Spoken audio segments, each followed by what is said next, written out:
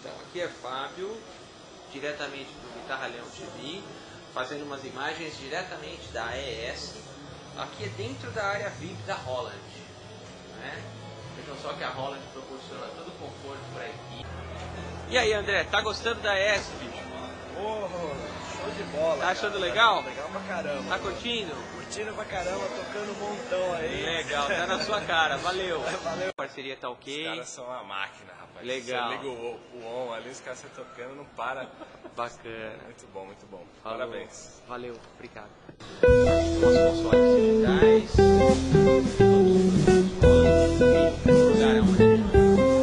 Vamos se apresentar. Plasma. Aqui Alex passando o prêmio pro Maurício.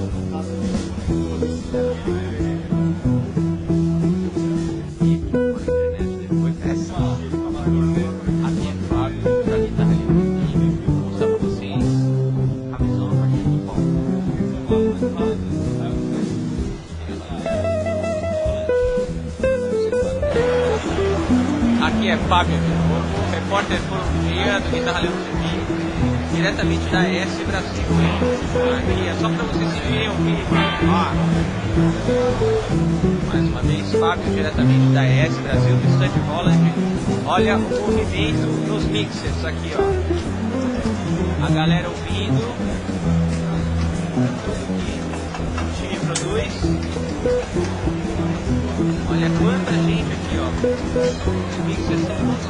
Todo mundo ouvindo.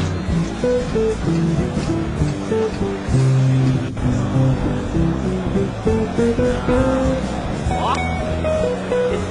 Era o Big Brother, olha lá. Isso assim.